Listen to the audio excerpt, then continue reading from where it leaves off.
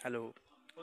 Right now I'm in Asaluya, Iran and I'm in a clothing store and to my pleasant surprise I could find here somebody जो हमारी ज़बान बोल सकते हैं meet mister Majid hello mister Majid hello आप India के लिए क्या बोलना चाहेंगे हम तुमको से मैं बहुत प्यार करता है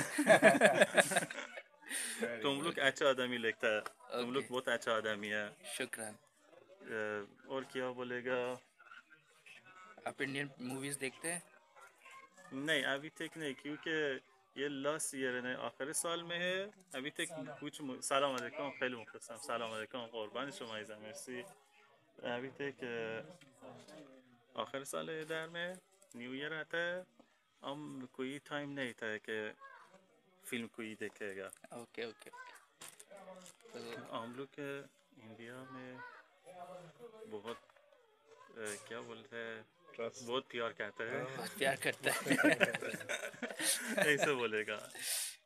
और क्या बोलेगा? और okay thank you thank you very much you welcome sir you welcome